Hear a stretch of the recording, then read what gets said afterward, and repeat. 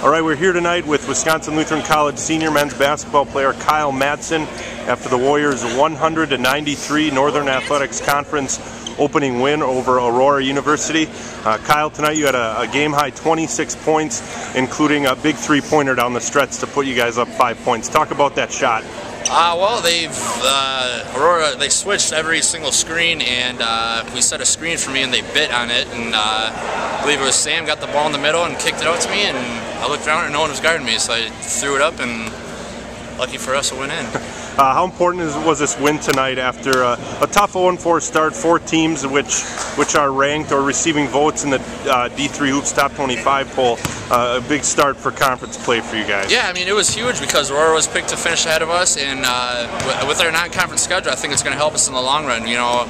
We, uh, we were able to use that as a measuring stick to see how good we were. You know, we stuck with a lot of those teams that we played early, and uh, I think it's really going to translate now that we're in conference now with obviously there are hard teams in conference, but I think we're uh, more at our level of play and can show it tonight with with the W. So and, talk about the balanced scoring. Obviously with 26, but four others in double figures as well. Yeah, I mean that's how our team's going to be the entire year. We're going to have guys that can uh, shoot the ball and uh, put points up. So you know I was leading scorer tonight, but it could be uh, anyone at any time. So.